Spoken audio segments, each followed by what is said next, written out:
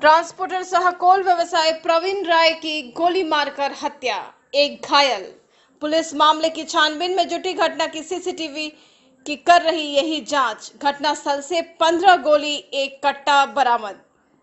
धनबाद के पाथड़ी थाना क्षेत्र के साउथ कॉलोनी स्थित कांटाघर के समीप बाइक सवार दो अज्ञात अपराधियों ने कोल ट्रांसपोर्ट सह सेल कर्मी प्रवीण राय की गोली मारकर हत्या कर दी। अपराधियों द्वारा की गई गोलीबारी में राजकिशोर सिंह नामक व्यक्ति भी घायल हुआ है, जिसे इलाज के लिए अस्पताल में भर्ती कराया गया है। फ़िलहाल पुलिस पूरे मामले की छानबीन करने में जुटी है। वहीं इस घटने से गुस्साए लोगों ने धनबाद झरिया मुख्य मार्ग को जाम कर अपना आक्रोश भी व्यक्त किया। वहीं इस घटना से आक्रोशित लोगों ने बॉडी को पोस्टमार्टम के लिए भेजने से इनकार किया। कहा, जब तक एसएसपी घटनास्थल पर नहीं आते, तब तक बॉडी यहाँ से कहीं नहीं जाएगा।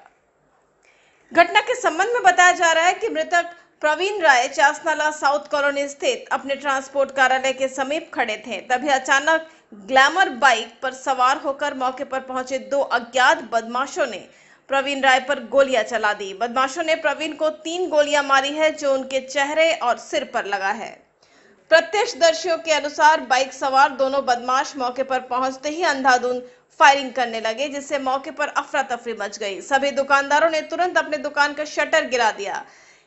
इसके बाद हत्या की नीयत से आए उन बदमाशों ने प्रवीण को निशाना बना, उन पर गोलियाँ दाग दी। घटना के बाद स्थानीय लोगों ने ज़मीन पर गिरे प्रवीण राय को उठाकर चासनाला स्वास्थ्य केंद्र ले गए, जहाँ डॉक्टरों ने उन्हें मृत घोषित कर दिया। बताया जा रहा है कि अपराधियों द्वारा की गई गोलीबारी में एक अन्य व्यक्ति जो पेशे से होटल मालिक बताया जा रहा था, वो भी घायल हुआ है। जिसे इलाज के लिए अस्पताल में भर्ती किया गया है। हत्या के खिलाफ प्रवीण समर्थकों ने चासनाला सीएचसी के समीप सड़क जाम कर दिया है। वहीं पुलिस सीसीटीवी का फुटेज खंगाल रही है। प्रवीण की हत्या के पीछे व्यवसायिक प्रतिद्वंदिता बताया जा रहा है। पुलिस हत्या करने और कराने वाले का सुराग ढूंढ रही है। वहीं घटना को लेकर कांग्रेस के जिला अध्यक्ष ने कानून व्यवस्था पर सवाल खड़ा किए हैं। तो शायद अपने ऑफ़िस के पास प्रवीण राय बैठे थे।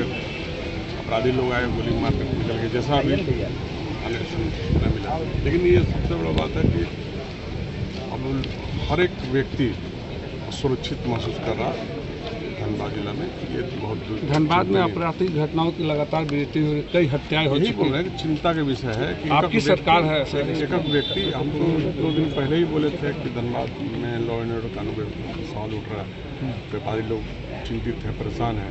एक व्यापारी अपने आप को चिंतित महसूस कर रहे बहुत ही दुखद घटना है। कांग्रेस ये मांग करती है कि पुलिस इस मामले पर जल्द ही सख्त कार्रवाई करे। और सीसीटीवी फुटेज के अनुसार जो भी आते हैं उसको बक्से नहीं किसी से दुश्मनी रंजिश कुछ पता चला क्या बात? कोई अगर गोली मारा तो निश्चित रूप से कोई रंजिश होगा तभी मारा है।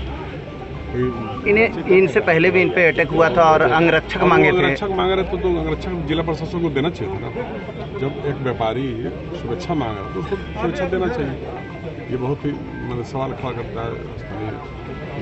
वहीं घटना को लेकर सिंदरी एसडीपीओ अभिषेक कुमार ने बताया कि कोल ट्रांसपोर्ट प्रवीण राय की गोली मारकर हत्या कर दी गई है। घटना की जाँच की जा रही है। एक अन्य व्यक्ति घायल हुआ है जिसे इलाज के लिए अस्पताल में भर्ती कराया गया है।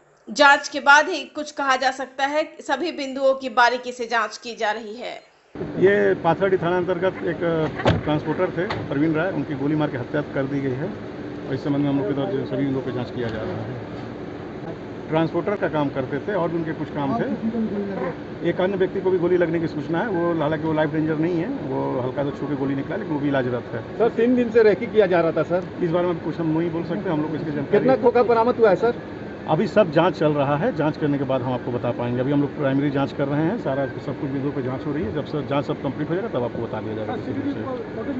सारा चीज़ कंगाल खंगाला जा रहा है। सारी चीज़ें देखी जा रही हैं। धन्यवाद।